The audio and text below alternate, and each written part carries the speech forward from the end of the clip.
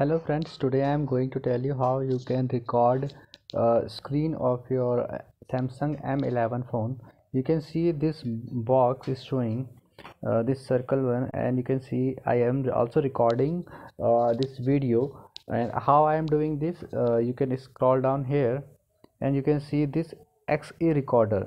So now you are thinking how this recording uh, option is showing here. I will show you how it is showing okay uh, so you need to go to uh, your play store in your android phone type in xe recorder. So this is the uh, app that you need to install xe recorder by institute incorporation you can install it and just open it give it uh, permission to record. After uh, doing it just close it. And if you don't find option here just click on these three dots and click on button order.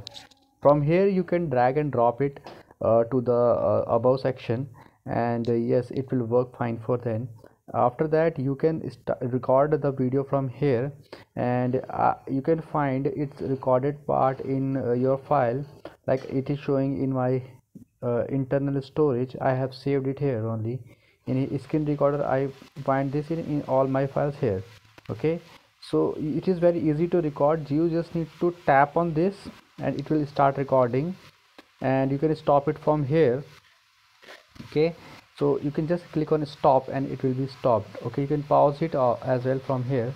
So it is very easy and this uh, little dot will help you to get all these options.